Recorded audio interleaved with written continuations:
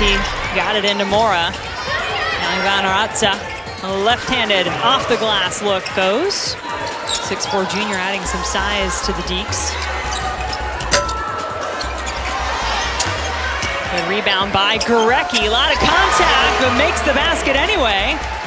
Four points now for Gorecki. And that's just getting to the glass. Shot goes up here, and she just has a knack for the basketball and that impossible shot.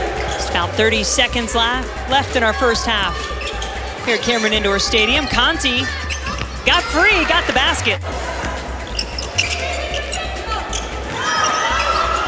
Raca back out to Scruggs. Good ball movement. This separated her as a freshman. I saw it in Miami as she came out ready to score the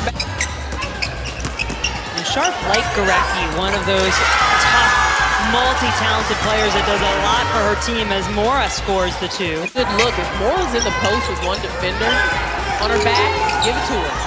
Scruggs will drive it and make it. Came in for Conti. I know who Scruggs is. Inside to Raca. Took the long way around, but got the two anyway. Ivana Raca using her length has been good going middle, and Morra has found some success. Boy can raise it off. What a beautiful assist to Williams. On how silky smooth she is when she gets the ball into the paint. Would have done Bain some good to take a dribble there. Alex Sharp is ready to line up the long ball. On two that time for Sharp.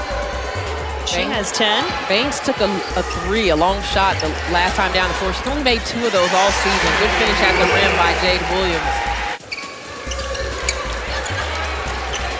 Gorecki with the basketball, drives the baseline to tie. She's got it. Has Hana guarding her. Conti waiting for the right moment. Unable to get around Baines now. She gets the shot and gets it to go. 1.8 on the clock. Defensively, she's got the length to contest it, but right there, Baines kind of loses her footing. Nice move by Conti.